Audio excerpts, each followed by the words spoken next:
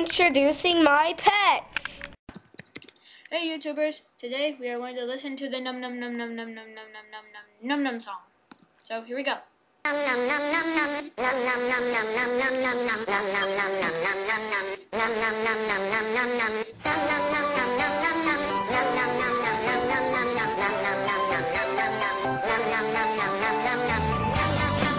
on the first episode of introducing my pets, I'm going to be showing you guys Tails the cat.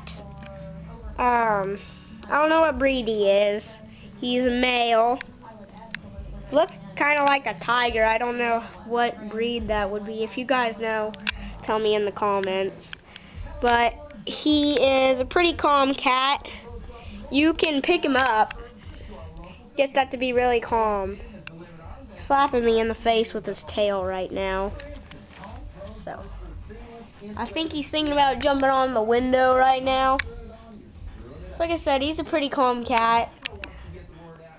Um, let me turn off the light. That way I kind of see him better.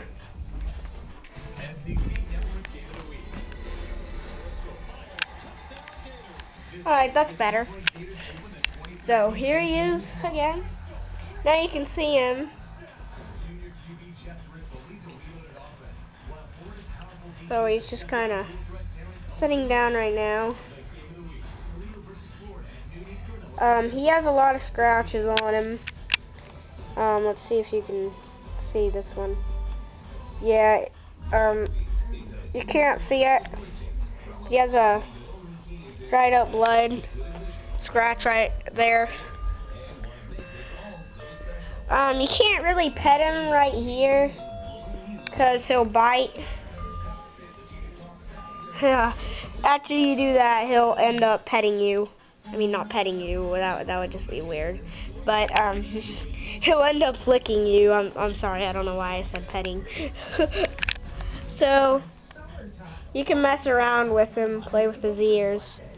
You can nibble on his ears. Like that. So,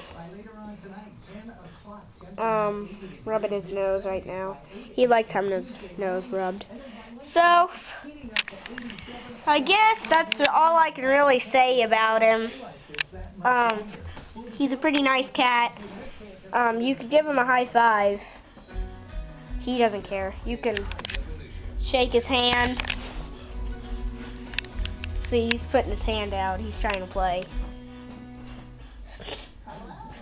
Put your hand up. He'll try to grab your hand. He's a pretty playful kitty. Well, I guess that's all I can say about him. So, um, bye guys. See you on the next episode.